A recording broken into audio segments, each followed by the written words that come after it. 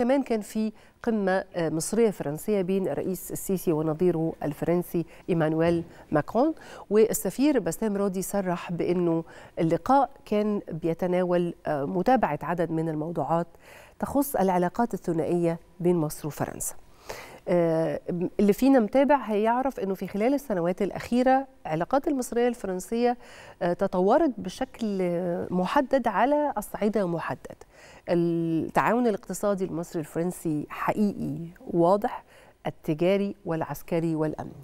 أيضا كان على هامش اللقاء تبادل للرؤى ووجهات النظر في إطار تشاور مكثف بين مصر وفرنسا فيما يخص قضايا إقليمية كثيرة ذات الاهتمام المشترك. مصر وفرنسا تربطهم علاقة ليها خصوصية شديدة وكثير ما التعاون المصري الفرنسي كان مؤثر وفاعل كمان حتى على المستوى السياسي.